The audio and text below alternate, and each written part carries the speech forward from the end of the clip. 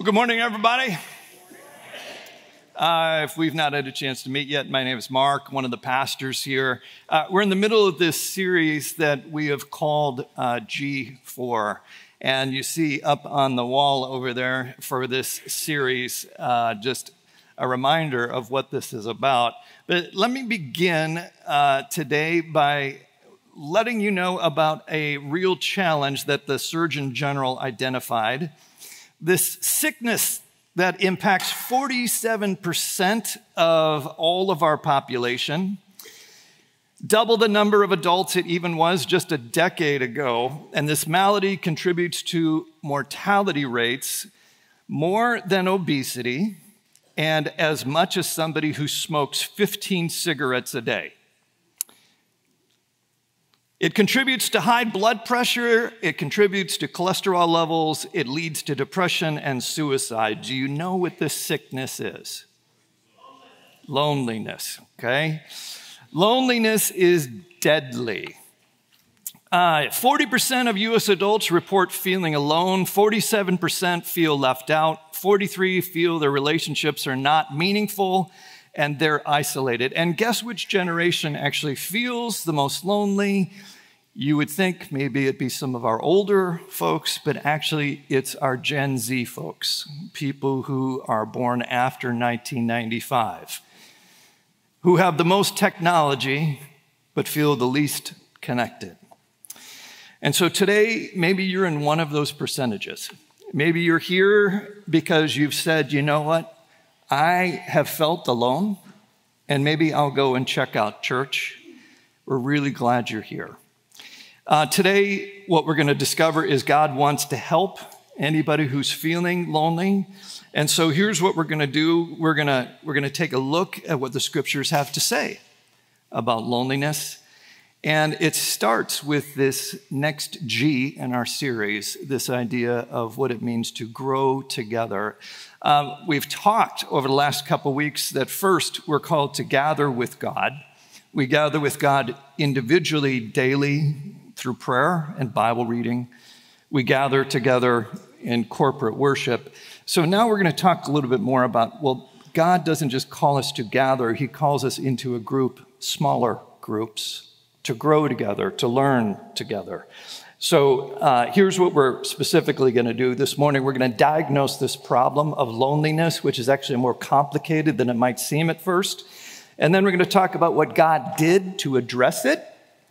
And then we're going to talk about what our church is doing to help you um, to experience real community. Sound like a plan? Yes, Mark, sounds great. Okay. Just want to make sure you're with me. All right. All right. So, to one degree or another, we all struggle with loneliness. Yes. Okay. And every one of us uh, has this, this, this sense of there's something that's just not a full connect all the time. The question is why. And so that's why we'll start with diagnosing this, this issue. Um, and the best way I know to introduce this is to ask another question, which is what was the first crisis in the Bible? Now, you would say that, well, you know, there's that thing with Adam and Eve and, and the fall, but actually, there was an earlier crisis than this.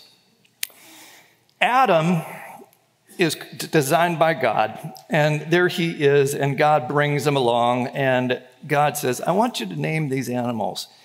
Just so happens that the, the duck comes along and has a complement. The elephant comes along, there's a male and female. And God says, okay, we have a problem here. Genesis 2:18 says the Lord God said it is not good for the man to be alone. Now, this was not a surprise to God. Okay, this was not like, oh, I guess I didn't see this coming. God knew this was coming, so why is it here in the scriptures? It's here to point out something really important to all of us. You and I were not created to be alone. We, you hear this scripture primarily from preachers, okay, in a, in a wedding ceremony, but this is not primarily about marriage. This is primarily about our innate need for community. That you and I were designed to have fellowship with God, but also with one another. It's not good to be alone. Okay, so think about this too. Adam had fellowship with God in ways we will never have on this side of eternity. He saw God face to face. He conversed with him like a friend. He even walked with him. And still, God said, This isn't good. It's not good for humanity to be alone. Something more is needed because we're designed for community. Let me take this a step deeper. What does it mean to be designed for community? If you were to take a picture of God, what would God look like? Okay, somebody needs to give me the Sunday school answer. Jesus. Okay, so yes, if you said Jesus, God looks a lot like Jesus. He is the visible image of the invisible God. That's what scripture says. However, if you wanted to take a more comprehensive understanding of who God is, you have to start talking about Trinity. God is a unity in three persons Father, Son, and Spirit, and a Trinity in one. So, if it were possible to take a picture of God, you would see God as loving community. As the Father loves the Son, the Son loves the Father through the Holy Spirit. And as the Son loves the Father, he does the same through the Holy Spirit. And this is not just esoteric theology. This is not just, oh, this is interesting, let's go talk about this over a glass of wine. This is really important, not only for the way we understand God, but also for the way that we understand ourselves. Here, follow me on this. If we neglect this picture of God, it distorts how we understand ourselves. Genesis 1, verse 27 says, God created humankind in his image. In the image of God, he created them. Male and female, he created them. Okay, so if God is a trinity, and he's one, but he's three, what does that then tell us about the image of God in us? Well, what it clearly says is that you we're designed as an individual, yes, as one, but we're also designed to function together in community. Exactly. right on cue. It's awesome. We have this innate need for community and with one another. Just like this child cannot survive on its own, you and I are designed to have a family around us. This is how we were designed. We've been talking about this for a couple weeks. So, why do we feel lonely? Well, I feel lonely because somehow we're not experiencing the fullness of the community we were designed to experience. So, what happened? If we're going to continue this diagnosis of the problem, what happened? Well, of course, what happened is the second crisis, which was sin. In the garden, Adam and Eve fell, but we need to think about what do we mean when we say the word sin? Because this will help us to better understand the issue. Okay, when typically we think about sin, we think of breaking the law. This past summer, we just went through Exodus and we talked about this whole idea where God gives uh, Moses the Ten Commandments do not covet, do not lie, do not steal, do not uh, commit adultery. And so we often think about sin is breaking the law. Now, that's only part of the issue. It isn't wrong but it doesn't get at the deeper root of the problem. It's just a symptom. Here, think about it this way. If your son or daughter followed all of your house rules, they came home at the right time, they didn't talk back to you, they didn't fight with one another, just like my children back at home. No, no. Does that mean that they love you? Does that mean that they absolutely just adore you? No. It means they're probably afraid to get in trouble. Right? So just because you follow the law does not mean you have a perfect relationship with God. In fact, you may just do this because you're afraid of being punished, but the whole time you might be resenting God in your heart, saying, I don't like your laws at all. So the deeper issue behind sin is not just law breaking, it is connected to this idea of autonomy. You know what the word autonomy means? It's this Latin word. It breaks down into two pieces auto, meaning self, and nomos, meaning law. So, in other words, I want to be a law unto myself. I want to do what I want to do, and I'm not really interested in you telling me this, whether you're God or somebody else. We, through sin, want to be our own authority. We want to establish our independence, not just from God, but from one another. And so here's how scripture describes our autonomy in this fun little picture, which is actually very devastating. Isaiah 53 6, it says, We all like sheep have gone astray. Each of us has turned our own way. We've all expressed our independence to say, I do not want to be a part of the flock. I don't know much about sheep, but it's clear they are not the smartest creatures that God has ever designed, which is why we're often called sheep in Scripture, right? Have you heard of Chris the sheep by chance? This is an incredible story. Okay, so in Australia, uh, in was it 20, 2015, sheep, modern sheep, okay, are now designed in such a way that they've been bred for their wool. So they can't live on their own. They're designed to live in community. And so this sheep, Chris, wanders off and is living alone for six years. Okay?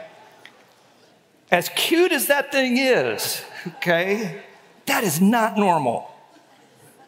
That wool, when they, they sheared it off, 88 pounds, right? It was the Guinness Book of World Records. Uh, and underneath all the wool, they discovered that the sheep was actually malnourished. Why? Because the wool, I'm talking about pulling the wool over your eyes, right? The wool actually covered over his eyes and he actually didn't see food well, right? Okay, now the good news for all of you who are concerned about Chris is that he was shorn and then he was reintroduced back into the community where he was cared for and lived out a nice life. Okay? So, I tell you this story because this is an example of the problem of our own autonomy. We say, I don't like the confines of the pen. I want to go do my own thing. We all, like sheep, have gone astray. The problem is, then we look like Chris after a while. All right? We need the care of God, and we even need the community of the people around us. And so, one of the things that this autonomy, okay, beneath the sin does is it breaks not just our relationship vertically with God, it breaks our relationship with one another horizontally. In 1965, Paul Simon wrote this amazing song, I Am a Rock. Here's one of the verses it says, I've built walls, a fortress deep and mighty, that none may penetrate. I have no need of friendship. Friendship causes pain. It's laughter and it's loving I disdain. I'm a rock. I'm an island. I thought about it and I thought, I will save you from the whole of the pain of my singing that. But because others have hurt us, we resonate with this song, don't we? We say, like Paul Simon, who's writing this ironically, right? He's trying to convince himself that I can be an island, I can be a rock. And he knows I can't really do this. All the while, it's ironic because what are we really longing for? We're longing for those relationships. We're longing for the connection to other people. No one can serve or survive well as a rock or an island. Okay, so let's put this all together. What's the diagnosis? Why are we lonely? We're lonely because we're made in the image of a triune God. You were designed for community. The problem is, because of sin, we have this tendency to be autonomous, to run away from the sheep pen and do our own thing, and we find ourselves shaggy and lost and need to go back into community. Here's the good news God loves us so much that He not only brought healing vertically, He also brought the potential for healing horizontally. And this, this is the next step, okay? So I said we're going to talk about diagnosis, we're going to talk about what God did. Let's talk about what God did to help with this loneliness situation. When we talk about salvation, we most often refer to Jesus healing our relationship with the Father. We talk about a vertical healing, which is exactly right. Jesus came, He died for us so that we can have a healed relationship with the Father. If that's something you're interested in and you don't know about, I'd love to talk about it with you after the service. But that's just the beginning of the healing that Jesus brought.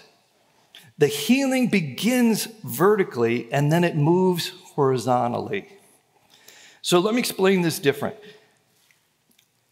When somebody receives the Holy Spirit, okay, so you say, I want to receive Jesus as my Savior. We receive the Holy Spirit. What that doesn't mean is that you get a little cup of the Spirit, and I get a cup of the Spirit, and you get a little cup. No, we all receive the one Holy Spirit. Okay? And so then each one of us becomes a member of that body. We talked a little bit about this last week.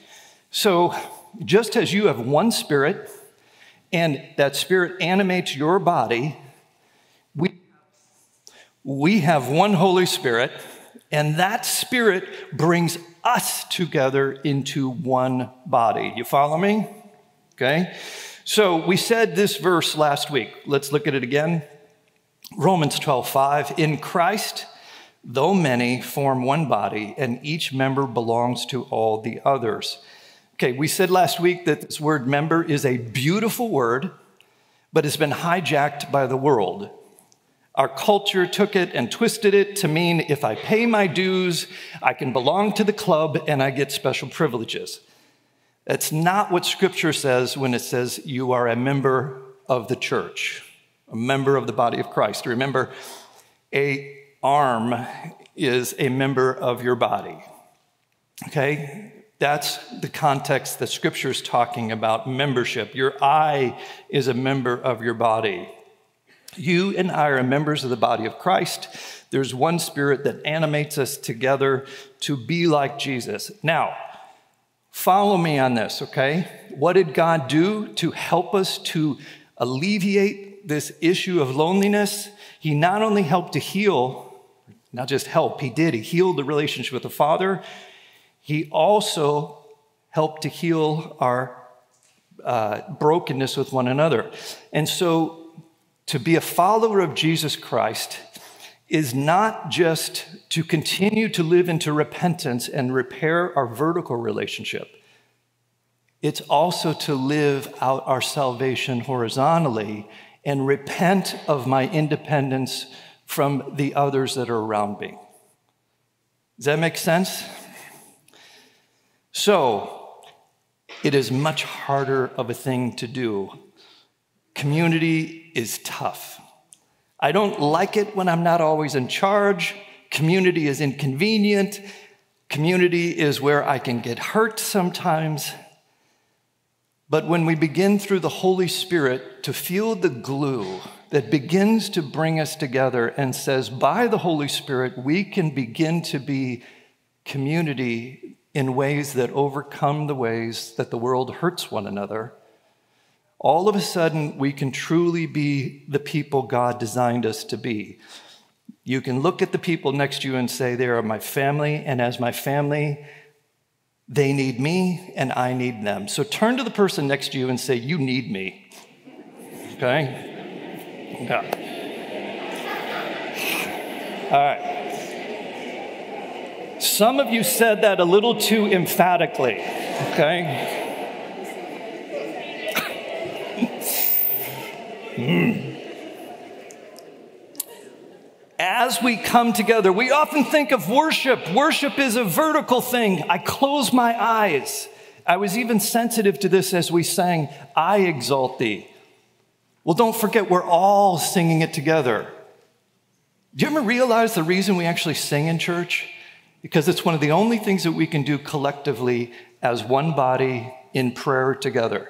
God's created song for that very reason. And as we come together as one body, it's an act of worship, not just vertically, horizontally as well. Romans 12:1 says this. Therefore, I urge you, brothers and sisters, in view of God's mercy, to offer your bodies as a living sacrifice, holy and pleasing to God. This is your true and proper worship. Did you catch my little emphasis there? Offer yourselves as a living sacrifice. This is the Trinity at action. Do You hear this? It's you are individuals, your bodies, now offer them as one. Together as one. That means we have to love one another in such a way that we become this one living sacrifice collectively as an act of worship. So, worship is not just about the songs we sing, it's not just about my individual relationship with Jesus, it's about our. Our in a few minutes, the choir is going to get up and they're going to sing about our Father to be able to recognize our collective identity. There's only one problem with the living sacrifice it likes to jump off the altar. It's not easy to stay on the altar, but one of the ways that we worship is through loving the person next to us who sometimes may hurt us. And isn't that what happened to Jesus? This is what it means to be his disciples, to be people who make ourselves vulnerable enough to share our lives, to say, I will love you in such a way that I know you can probably hurt me. This is not to take down good boundaries. Don't hear what I'm not saying. But it is to say, I am willing to take a risk and love you. Jesus said, as we said the last couple weeks, Come follow me, and I will make you all. I will make you into the humanity I always wanted you to be. I will bring restoration to you. And so Jesus could have said, by the way, Come follow me, and I will be your individual tutor. I'll bring you aside. John, now it's your turn. Let's have an hour together. Andrew, now it's yours. That's not what he did. He took them together as a group and said, I'm going to make you all. He began to shape these disciples into the humanity that they were created to be so that they could be not just holy, but become an apostolic blessing as they were sent out. So, to be a faithful disciple is yes, gather with God individually, gather with the group, but there's something that means we have to go even a little bit deeper. And that's, that's the final part of where we're coming to. Okay, diagnosis. Loneliness comes because we are made in the image of a triune God. God brought healing through Jesus Christ, not just to help vertically, but also horizontally. So, what is our church doing to help us grow into this worship, which is growing together? One of the challenges of being in a church as large as we are is you can show up for weeks, months, and not really have a deep connection with someone. Because the fellowship that God is talking about here is not possible to have through coffee on the patio. Now, don't get me wrong, that is a great thing. But what God is really saying is I need you to go and have deeper relationships. Now, the early church had the same problem, okay? Peter preaches on the first day the church is born. The Holy Spirit comes, knits them into a body, just like we're talking 3,000 people. 3,000 people cannot have personal relationships. Acts 2:44 This is what happened. All the believers were together and had everything in common. They sold property and possessions to give to one another who had need. Every day they continued to meet together in the temple courts. They broke bread in their homes and ate together with glad and sincere hearts, praising God and enjoying the favor of all the people. And the Lord added to their number daily those who were being saved. You know, even Jesus only had a group of 12. He had the multitudes, but he could only build personal relationships with 12 people. And he showed us the example of what it means to follow him. This is why we have groups at PCC, not because it's something Willow Creek or Saddleback did and it's really cool. No, it's because this is what Jesus did.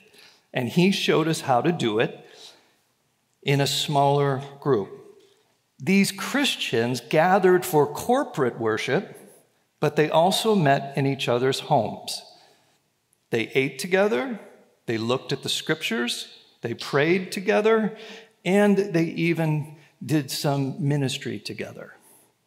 And so, this is why, if you want to experience the fullness of the healing of loneliness in the context of what it means to be the church, shaped as Jesus' disciples, I love how Pastor Gary used to put this it really happens in circles, not in rows. Real life change happens in circles, not in rows. And so, our role as the church leaders is to help you to participate in this context. It's up to you to choose to be a part of that, but one of the reasons we're having these groups, and I've already heard so many good stories back.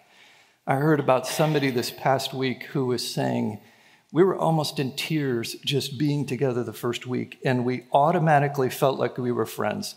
Um, our women the other day, you, you um, I'm really proud of you guys.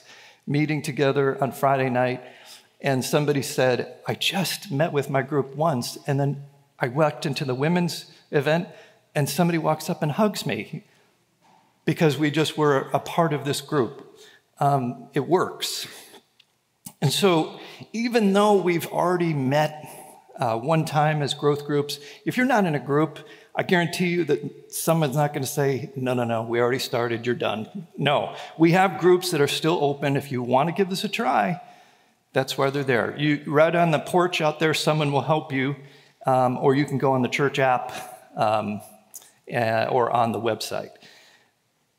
So let me conclude this um, just by sharing a little bit of how God used community in my own life. Um, when I was 16, I went to a Young Life camp. I've shared this before that I met Christ.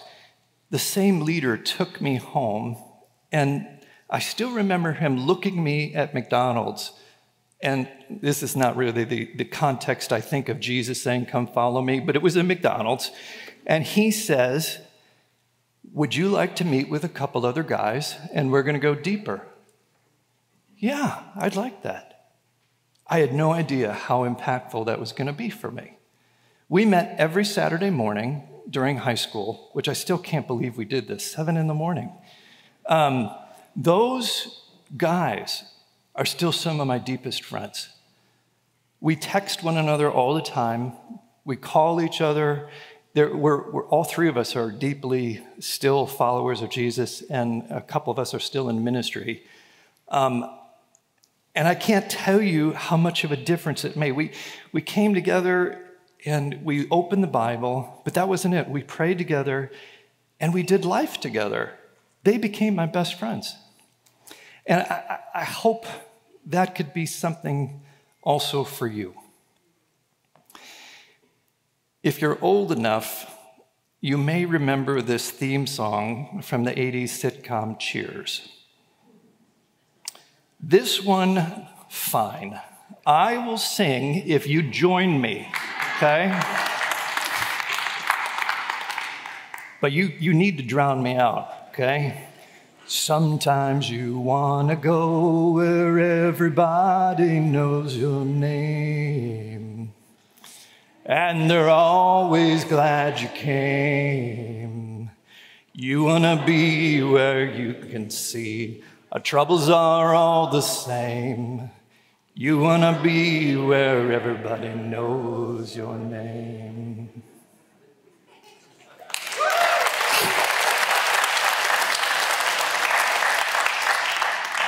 Isn't that, isn't that what we long for? You long I long for a place where people know us. Not just know our name, but we share our troubles together because we're all going through them. A place where we can be community. Let me let you know a little secret. You will not find that at a bar. Okay? As much as it happened at Cheers, it was a sitcom. Okay? But you can find it here at the church. Now, it may take a little bit of effort to get there, it doesn't happen immediately. But God will bring it. It's not good to be alone. The church is designed to help us live into the salvation that Jesus has brought, not just for healing with God vertically, but also horizontally. And if you're lonely today, we want to help. I want to help. I want to help you to grow together with others and grow together as a community, being shaped by Jesus into this loving community. So let's pray.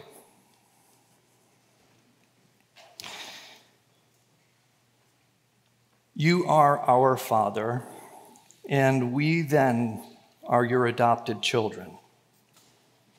Lord, in some ways, it's a lot easier to connect with you than it is to connect with others. But really, we were designed for this, and we, we even know it. We know it. So, would you help us to live as community, Lord? Would you help us to live into this biblical idea? And would you, would you help the person right now who's feeling lonely? Would you help them to have the courage to reach out? And then, Lord, forgive us in the church for not being more proactive to invite others to be a part of our group. Forgive us for being groups that just kind of have this holy huddle sometimes without letting those who are lonely in. It's not what you designed us to be. So help us, help us, Father, to be a community that we just say loneliness should never exist here. And help us to help the world to see this is a place where you can have your loneliness healed.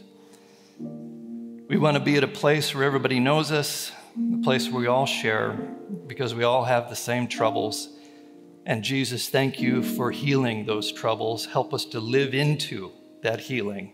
We ask this in Jesus' name. Amen.